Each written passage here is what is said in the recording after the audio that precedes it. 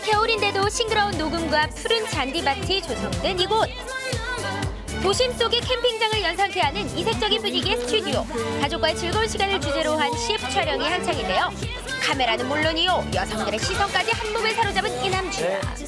오늘 이 캠핑장의 주인공은 바로 바로 바로 진짜 사나이 장혁빈이야. 안녕하세요. 안녕하세요.